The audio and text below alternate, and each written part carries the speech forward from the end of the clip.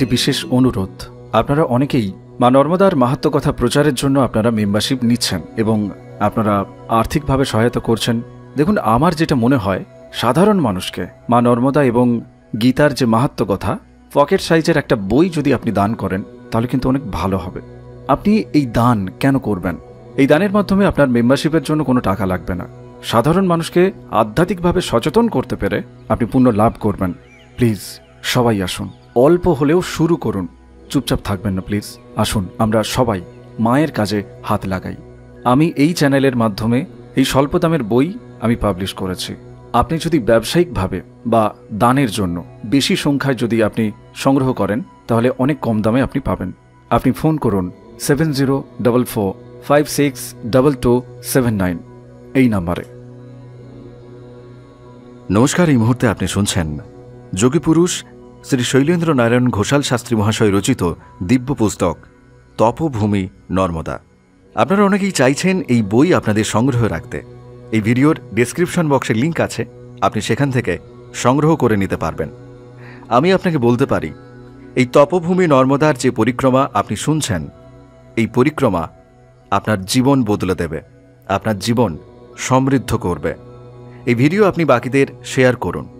পরিচিতদের মধ্যে ছড়িয়ে দিন এই অনুরোধ আপনার কাছে আমি করছি। আসুন, আমরা শুরু করব আমাদের এই মুহূর্তের পরিক্রমা। অনেক বেলা হলো, সকাল আটটা বেজে গেছে। হরানন্দজির ডাকে আমি বিছানায় উঠে বসলাম।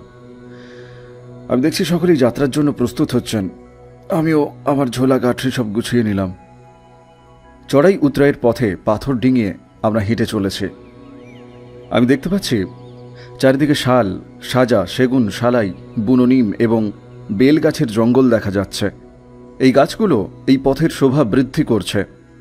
এখানের এই পার্বত্য ঢাল যা প্রায় সমতল ভূমির মতো, তাই স্বচ্ছন্দে এখানে হাঁটা যাচ্ছে। লতা গুল্মে জড়াজড়ি কোনো সংকটজনক ঝোপঝাড় এখানে নাই। অল্প দূরে মা নর্মদার কাকচক্ষু জলে ঢেউয়ের খেলা চলছে। আমি দেখতে পাচ্ছি দূরে পাহাড়ের চূড়ার দিকে তাকালে স্পষ্ট দেখা যাচ্ছে।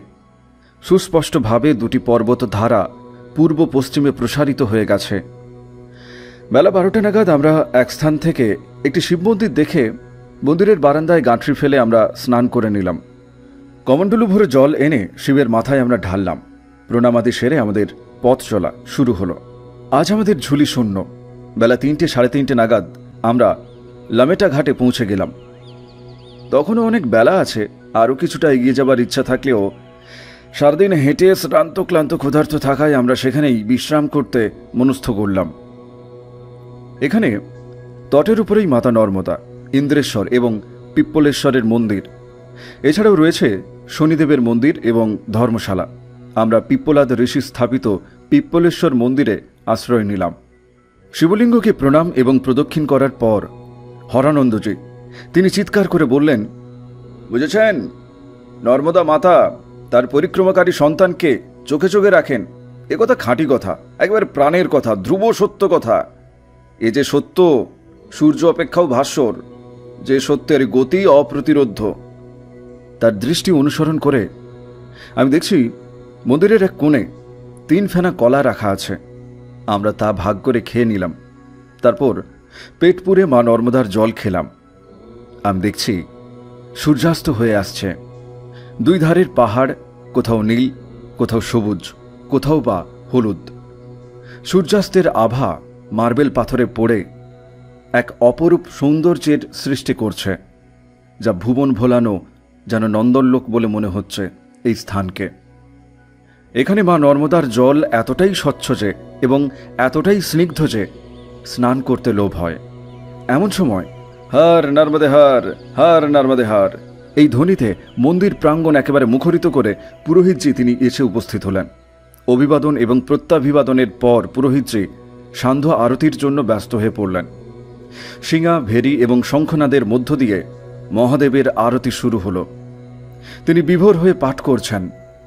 আগধীতা পরিপধীতা জাকুশি কে বজঙ্গহে দদাতি মাহং জাদুরি যৎসুনাং শতা দরবিগলিত ধারায় কাঁদতে কাঁদতে মহাত্মা তিনি বলছেন, হে প্রভু, অন্তরস্থ দুই খল বশীভূত করে তোমার সমপ্যস্ত হওয়া দুঃসাধ্য। তুমি কৃপা করে আমার হৃদয়ে প্রকাশ হও। তোমার দিব্যচিত জ্যোতির ধারা আমার মনকে স্পর্শ করুক। হে প্রভু, আমায় কৃপা করো কৃপা করো মহাদেব। আরতি শেষে পুরোহিতজি আমাদের কাছে এসে বসলেন। তিনি বললেন, আপনারা মা নর্মদার দক্ষিণ তটের এক অনুত্তম তীর্থে এসে উপস্থিত হয়েছেন। মহর্ষি মাকেন্ডেও এই তীর্থের পরিচয় দিতে গিয়ে যুধিষ্ঠিরকে তিনি বলছেন তত গচ্ছেতু রাজেন্দ্র পিপ্পলেশ্বরমুত্তমম যত্র সিদ্ধ মহাযোগী পিপুলাদ ও মহাতপা। অর্থাৎ, হে রাজেন্দ্র, অনন্তর অনুত্তম পিপ্পলেশ্বর তীর্থে গমন করবে এই তীর্থে মহাযোগী মহাতপা পিপ্পলাদ সিদ্ধিলাভ তিনি করেছিলেন। মহাতপা যাজ্ঞবল্কের ভগিনী। তিনি হচ্ছেন মহর্ষি পিপ্পলাদের জননী। পিপ্পলাদের জন্মের পর তার জননী। তাকে নর্মদা তটের এই বিশাল অসত্য তরুর ছায়ায় পরিত্যাগ করে তিনি তখন বলছেন, জানি সত্ত্বানি লোকেশু স্থাবরানি চরানি চ, তানি সর্বাণি রক্ষন্তু তক্তং বই বারকং ময়। অর্থাৎ আমি এ স্থানে এই শিশুপুত্রকে পরিত্যাগ করলাম। ত্রিলোক, স্থাবর ও চরে, যে সকল প্রাণী আছে, তারা একে সকলেই রক্ষা করুন। এই জননীর দ্বারা পরিত্যক্ত শিশু কিছুকাল পরে ক্ষুধায় কাতর হয়ে ক্রন্দন শুরু করলে এই অসত্য বৃক্ষ স্বীয় নির্যাস খরিত করে শিশুকে তিনি পান করান। সেই বৃক্ষ সুধা পান করে শিশু তিনি যৌবনে উপনীত হচ্ছেন। তার নাম হয় পিপ্পলাদ। পিপ্পলাদ একে একে ব্রহ্মা, বিষ্ণু, মহেশ্বরকে স্তবে তুষ্ট করে মহামুনিতে তিনি পরিণত হলেন। মহেশ্বর পিপ্পলাদকে বরদান করতে চাইলে মহর্ষি তখন তিনি বলছেন, যদি মে ভগবস্ত টৌ, যদি দেয় বর মম, অত্র সন্নিহিত দেব তীর্থে ভব মহেশ্বর। অর্থাৎ, হে মহেশ, যদি আমার প্রতি প্রীত হয়ে থাকেন আর যদি আমাকে বরদানের যোগ্য বলে মনে করেন, তবে এই স্থানে এই তীর্থে আপনি আবির্ভূত হন। মহামুনি পিপ্পলাদের প্রার্থনায় মহাদেব তিনি তথাস্তু বলে এই তীর্থে, এই স্থানে পিপ্পলেশ্বর নামে তিনি আবির্ভূত হলেন। আজ পরিক্রমা পথে আপনারা যেখানে এসে উপস্থিত হয়েছেন, এই হচ্ছে সেই স্থান। মনে রাখবেন, এই তীর্থে স্নান, দান, দেব পিতৃগণের তর্পণ এবং মহেশ্বরের অর্চনা করলে অশ্বমেধ যজ্ঞের ফল লাভ হয়। এখন সবাই উঠে দাঁড়িয়ে আমার সঙ্গে আপনারা তিনবার করে বলুন। হর নর্মদে হর। জয় পিপ্পলেশ্বর মহাদেব কি জয়। এরপর মহাত্মা আমাদের সকলকে নমনারায়ণে জানিয়ে তিনি ফিরে গেলেন। আমি দেখছি শুক্লপক্ষ তাই আকাশে চাঁদ উঠেছে। সত্যি কথা বলতে কি, চাঁদের স্নিগ্ধ কিরণে চারিদিক একেবারে উদ্ভাসিত। আমরা মন্দিরের বিস্তৃত বারান্দায় বসে নিত্যকর্মে মন দিলাম পরের দিন সকাল আটটা নাগাদ পুরোহিতজি তিনি এসে আমাদেরকে সঙ্গে নিয়ে পিপ্পলেশ্বর মহাদেবের পূজা করালেন যাত্রার পূর্বে মহানন্দ স্বামীর প্রশ্নের উত্তরে পুরোহিতজি তিনি বলছেন उस पर जो घाट दिखाई देता है वो है गोपालपुर घाट वो तेवर ग्राम में है प्राचीन काल में इस तेवर ग्राम को त्रिपुरी कहा जाता था त्रिपुरी कलचुरी घराने की राजधानी थी ग्यारहवीं शताब्दी के सर्वश्रेष्ठ कलचुरी राजा कर्णदेव ने भारत का अधिकांश भाग अपने अधीन किया था अभी कर्णपुरी नाम की नगरी राजप्रसाद मंदिर और मंडप गृह का खंडहर दिखाई देता है गबलपुर में अब पुरानी समृद्धि का कोई चिन्ह नहीं दिखाई देता परंतु यही घाट से मार्बल रक्स का दृश्य अत्यंत मनोहर दिखती है पुरोहित जी তিনি আরো বলছেন और दो मील जाने से आप लोग नर्मदा जी का त्रिशूल भेद तीर्थ में पहुंचेंगे वो ग्राम का नाम है सीबनी वहां नर्मदा जी का धारा पर्वत को विदीर्ण करके त्रिशूल के समान बहती है उसे भगवान तीर्थ और बराह तीर्थ भी कहा जाता है তীর্থ মহিমা শোনার পর নমস্কারান্তে আমরা দ্রুত বেগে হাঁটতে লাগলাম আমাদের বাম দিকে মা নর্মদা তিনি বয়ে চলেছেন আর ডান দিকে শাল মহুল হরিতকি বাঁশ পিয়াল বেল বট কদম্ব প্রভৃতি গাছের সারি গ্রামের মধ্যে কোথাও কোঠাবাড়িও দেখা যাচ্ছে মাঝে মাঝে ধান, জোয়ার, ভুট্টার চাষ হচ্ছে। স্বচ্ছতোয়া খরস্রোতা মা নর্মদার শোভা। যেমন সুন্দর লাগছে, ঠিক তেমনি ওইসব গাছের সৌন্দর্য যেন কেবল মনে করিয়ে দিচ্ছে এইসব স্থান সত্যিই তপস্যার উপযুক্ত। বেলা বারোটা নাগাদ আমরা সমৃদ্ধ গ্রাম শিবনিতে এসে পৌঁছে গেলাম। মা নর্মদার তটে একটি সুদৃশ্য মন্দির চোখে পড়ল। এখানে আরও চোখে পড়ল মা নর্মদার গতি রোধ করে দাঁড়িয়ে আছেন এক বিশাল পাহাড়, আর সেই পাহাড়কে ত্রিশূলের তিনটি ফলা দিয়ে ভেদ করে ত্রিশূল আকৃতিতে মা নর্মদা কিছুদূর বয়ে গিয়ে এক হয়ে গেছেন। সত্যি কথা বলতে কি, এই রকম দৃশ্য আমাদের গোটা পরিক্রমা পথে কোথাও দেখিনি। আমরা সব কিছু ভুলে গিয়ে হতবাক হয়ে কিছুক্ষণ সেই দৃশ্য দেখতে লাগলাম। কতক্ষণ যে সেই দিকে তাকিয়েছিলাম, না তা খেয়াল ছিল না। সম্বিত ফিরতে পিছন ঘুরে দেখছি শিখা উপবিত ধারী এক ব্রাহ্মণ তিনি দাঁড়িয়ে আছেন। তার বেশভূষা দেখে বুঝলাম, বেশ সম্পন্ন গৃহস্থ তিনি। তিনি চোস্ত হিন্দিতে তিনি বলছেন, আপনারা শিবনী মহল্লার মধ্যে দাঁড়িয়ে আছেন। আর ওই যে মন্দির দেখছেন, ওটি বরাহ অবতারের। আপনারা স্বচ্ছন্দে ওই মন্দিরে রাত্রিবাস করতে পারবেন। কথায় কথায় তিনি আরও জানালেন দেবতাদের সহস্র প্রেম প্রার্থনা যখন বিফল হয়, তখন দেবতারা স্থির করলেন শক্তির দ্বারা। তারা জয় করবেন কুমারীকে। তখন তাদের দুরভিসন্ধি বুঝতে পেরে চকিতে নদীরূপে গহন কান্তারের মধ্য দিয়ে পর্বত গাত্রের ফাঁকে ফাঁকে ছুটে চললেন কুমারী। তখন এই স্থানে এই পর্বত তার গতি রোধ করলে, নীলকণ্ঠ তার ত্রিশূল প্রহারে পর্বত গাত্র ভেদ করে আপন কন্যার গতিপথকে তিনি মুক্ত করলেন। পরম পরিতৃপ্তি বিধায়িনী পরম সুখ এবং আনন্দদায়িনী মহাকুমারী শক্তি মা নর্মদাকে তিনি বর দিচ্ছেন। গর্ভে তব বসিস্বামী পুত্রর ভূতবা শিবাত্তাচে মমত্তম অপরামূর্তি খ্যাতা জলময়ী শিবা। অর্থাৎ, হে শিবাত্মজে তুমি জলময়ী শিবা, তোমার পুত্র হয়ে তোমার কোলে নিত্যকাল ধরে বিরাজ করব। কল্পতরু নীলকণ্ঠ তিনি আরও বর দিচ্ছেন। তিনি বলছেন অপরং বরং দস্বামী ফস্য দেবী মহততেজা লিঙ্গরূপেণ সুচিরং প্লবয়ামি তব ক্রোড়ে। অর্থাৎ, হে মহাতেজস্বিনী কন্যা, এই দেখো, আমি এখন থেকেই তোমার কোলে, তোমার জলে, চিন্ময় শক্তি সম্পন্ন শিবলিঙ্গ রূপে চিরকাল আমি ভেসে বেড়াবো। আজ থেকে তুমিই হবে আমার আনন্দ বিলাসের ক্ষেত্র। আপনারা লক্ষ্য করে দেখবেন এরপর থেকে পশ্চিমগামিনী নর্মদার বিস্ময়কর পরিবর্তন ঘটে গেছে। মা নর্মদার তটে তটে, নর্মদার গর্ভে শিবলিঙ্গের ছড়াছড়ি। ইয়াদ রাখিয়ে, নর্মদাকে কঙ্কর সবই শঙ্কর। এখান থেকে অমরকণ্টকের পথে, নর্মদার তটে কিংবা গর্ভে খুব কমই শিবলিঙ্গের দর্শন পাবেন। এরপর মহাত্মা তিনি আমাদেরকে বরাহ মন্দিরে নিয়ে এলেন। আমি দেখছি মন্দিরের দরজা খোলা। এই মন্দিরের চারপাশে প্রশস্ত চওড়া বারান্দা। মহাত্মা তিনি আমাদের কাছ হতে বিদায় নিয়ে চলে গেলেন। সত্যি কথা বলতে কি, এই মহাত্মার সরল এবং সহৃদয় ব্যবহার আমাদের মুগ্ধ করল।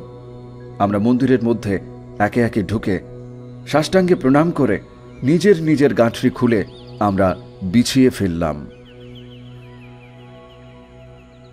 মন্দিরের বারান্দা থেকে যেদিকে তাকাচ্ছি, সেদিকেই দেখছি ঘন জঙ্গল। কোথাও কোথাও জঙ্গলের মধ্যে ছড়ানো ছিটানো দু চারটে জঙ্গলি কুটির মা নর্মদার উত্তর তট, নিবিড় অরণ্যে ঢাকা। দেখতে দেখতে সন্ধ্যা হয়ে গেল। আকাশে পূর্ণ চন্দ্রের উদয় হয়েছে। সত্যি কথা বলতে কি, জ্যোৎস্নালোকিত রাত্রিতে এই সুন্দর পরিবেশে সবাই যেন একটা অলৌকিক আবেশের ঘরে রয়েছেন। আমি মহর্ষি তণ্ডীকৃত শিবস্তব আবৃত্তি করতে লাগলাম। কখন যে ঘুমিয়ে পড়েছি আমি জানি না। খুব ভোরে ময়ূরের কেকা ধ্বনিতে ঘুম ভেঙে গেল। স্নান এবং প্রাতকৃত্যাদি সেরে হার নার্মদাহার ধ্বনি দিতে দিতে আমরা বেরিয়ে পড়লাম। সাতপুরার শীর্ষদেশ অতিক্রম করে সূর্যরশ্মির প্লাবন জেগেছে তখন। আমি বললাম, বৈদিক ঋষিরা, বুঝেছেন? জড় সূর্যের অন্তরালে যে হিরণময় ভর্গজ্যোতির উপাসনা করতেন, আসুন, সেই রকম আমরাও এই তপভূমিতে দাঁড়িয়ে উদীয়মান সূর্যের আবাহনী স্তুতি আমরা গাই। আমার সাথীরা আমাকে বেষ্টন করে, যুক্ত করে পূর্ব দিকে মুখ করে তারা দাঁড়ালেন। আমি উদাত্ত কণ্ঠে, জাগতি ছন্দে ও সুরে পাঠ করতে লাগলাম। আকৃষ্ণেন রাজসবর্তমান নিবেশনৈন্যমৃতং বৃত্তিচং হিরণ্যয়েন সবিতা রথেন দেব, ইয়াতি ভুবনানি পশ্যন। অর্থাৎ, অগ্নি উজ্জ্বল সুবর্ণ রথ দীপ্ত কিরণে ভরি হ্যারো নভে ওই উদিছে সবিতা তমসা ছিন্ন করি। জাগিয়া উঠিল বিশ্বভুবন কল্যাণ কর লাগি, জাগিল অমর তাহারি সঙ্গে মরলোক উঠে জাগি। পোহালে নিবিড় তিমির রজনী ঘুচিল অন্ধকার।